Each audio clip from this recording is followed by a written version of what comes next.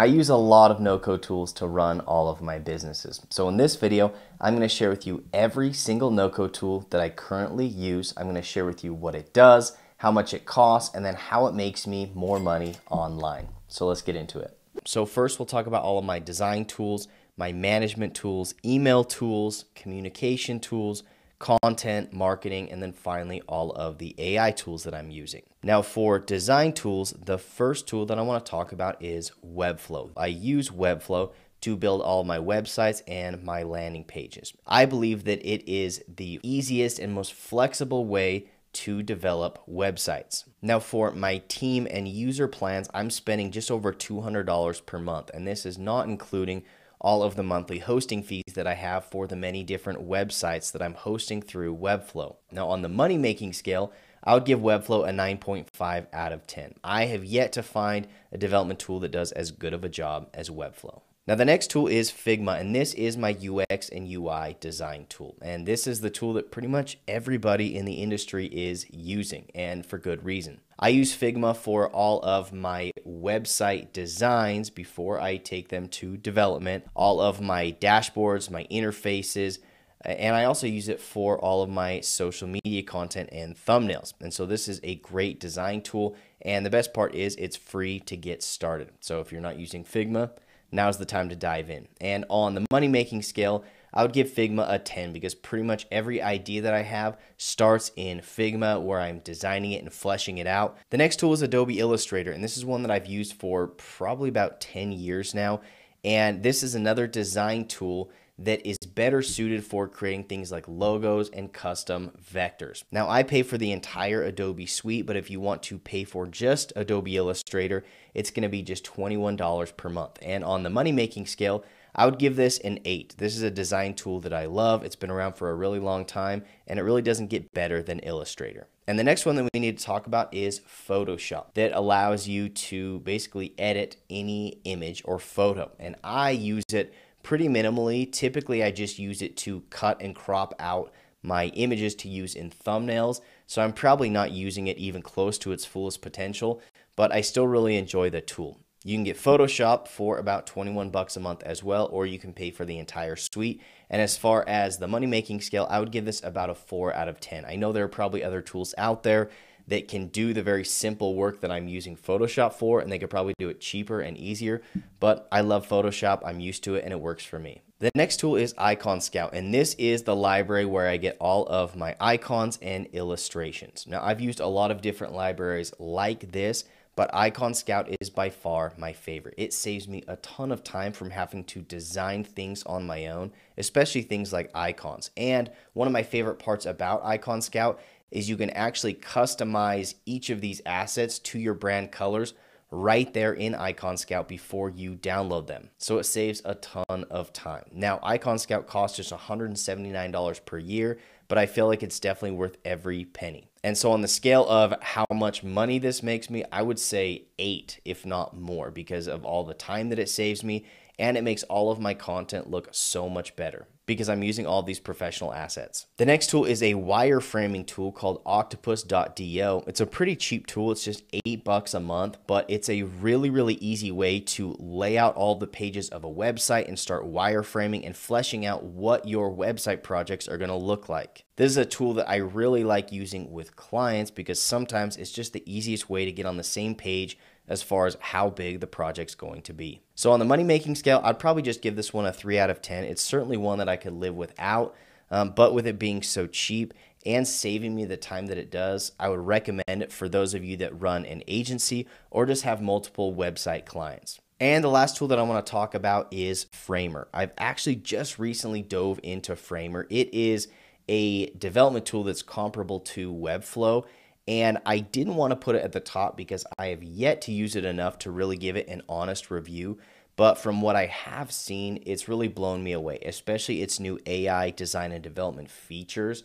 And so, if you're looking for a development tool like Webflow, or you're looking for a new development tool and you're new to the industry, Framer could be a fantastic place to start. All right, so now we're going to talk about management tools. These are all the tools that help run all of my businesses. And the first and probably most important is HelloBonsai. This is the tool that I use to manage all of my company finances, all of my proposals, contracts, invoices, payments. It's pretty much a full suite that does everything for you as far as the logistics of running a business. Now, the cost on this for me is about $378 per year.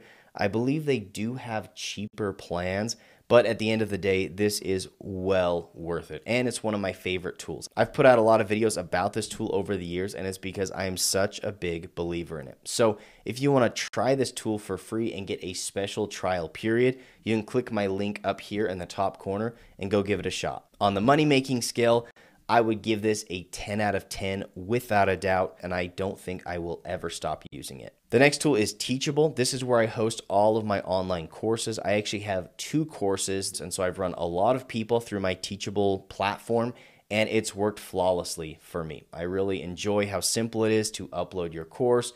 It does everything in terms of people paying for your course and getting access to your course. And you can drip all of your course modules to people on any schedule that you want. Uh, it does a lot for you as a new and advanced course creator. So if you're looking to make a course or switch your course to a new platform, I would definitely recommend Teachable. Right now, it costs me about 59 bucks a month, which is really reasonable. And on the scale, I would give this a 9 out of 10. The next tool is MemberStack. This is what I use to make a custom membership platform for my membership, paitpro.com. Now, the way that MemberStack works is it connects or integrates with Webflow so I can customize exactly how my membership platform looks and works and what it has and what people see when they log in. So if you're looking for something more customizable beyond that that Teachable or Kajabi can offer, MemberStack is a great option. MemberStack cost me about 49 bucks a month, and on the money making scale, I'd probably give it a 7.5. However, I will say in most cases, you don't need a super custom membership solution like MemberStack can offer.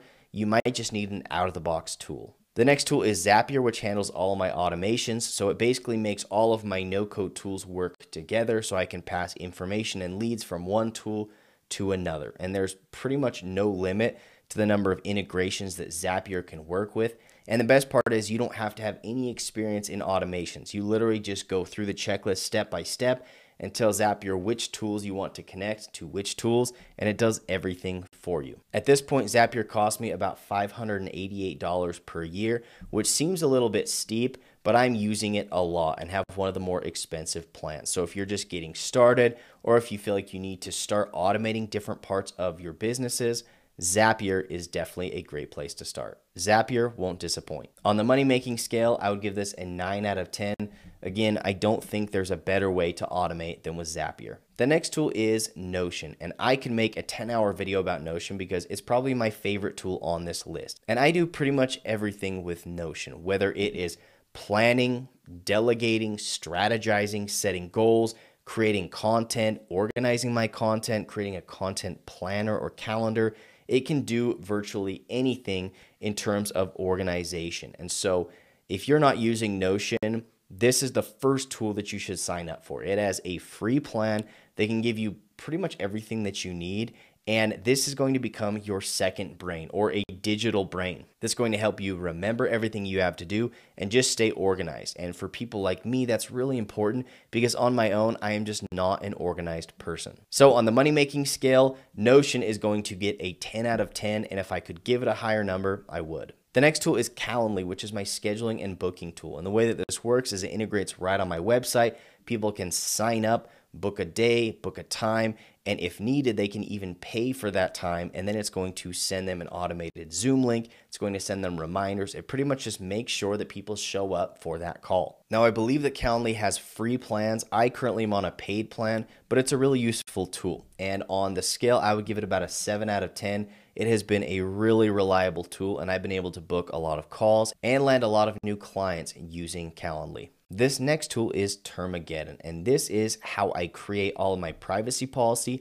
and terms and conditions pages. Now, these might be things that you haven't thought about before, and if that's the case, you're gonna wanna watch this video right here because it talks about how you can use Termageddon to make sure that you don't get sued for not following the proper legalities behind your privacy policy and terms and conditions. Now, Termageddon is free for agencies, especially if you're going to resell it to your clients. Now, if you're just an individual business, paying for Termageddon is still pretty darn cheap, and I can promise you it's going to be way cheaper than paying for an attorney or paying through a massive lawsuit. So be careful Make sure that you are aware of your legal obligation as a website owner and go give Termageddon a try. Now, on the make money scale, I give it a 10 out of 10 and I would give it an 11 out of 10 on the don't get sued scale. So go check out Termageddon. Next, we're going to talk about email tools. And my first and most important email tool is ConvertKit, which I use to manage all of my email subscribers to send out newsletters and email blasts and to segment my different email lists. Now, one thing I love about ConvertKit is it's easy to use and I can send emails from multiple different email addresses, which helps if you're running multiple different businesses. ConvertKit is 150 bucks a month and on the make money scale, I'd give it a 9.5 out of 10. The next email tool is mailtrack.io. This is a free tool that plugs right into your Gmail and shows you if people have opened and read your emails. And it sends you reminders if you've forgotten to reply to past emails. So this one is free. There's really no reason not to use it. I wouldn't say it actively makes me money, but it is helping me be more productive. So I give it a 5 out of 10. The next tool is a cold email outreach tool called Lemlist, and this helps you with every aspect of cold emailing to make sure that your emails get delivered, make sure they don't get red flagged and make sure that they don't get sent to spam. It's 60 bucks a month and on the make money list, I give it about an 8 out of 10 because we've actually been able to generate a ton of new users for my software by cold emailing through Lemlist. And if you're using Lemlist, another tool that you're going to want to use is Lemwarm, which basically just warms up your email and increases the number of emails that actually get delivered to inboxes. It's 30 bucks a month, and I would give this one about a 6 out of 10 on the make money scale. Now we're going to talk about communication tools, and the most important communication tool is Slack. This is where I talk to my team and oftentimes talk to clients. It's the easiest way to keep track of information, keep track of conversations, and I love it because you can create individual channels and dictate who gets to join those channels to make sure that these conversations stay super organized. It's about nine bucks a month per user, and it's well worth it. On the make money scale, I would give this a 10 out of 10. The next tool is Loom. This is the best screen recording tool out there. You can record your screen, record your face, record your voice, and send it to people and see when it's been watched, and they can comment on it. This is actually a really effective way to delegate, I will record 50 videos a day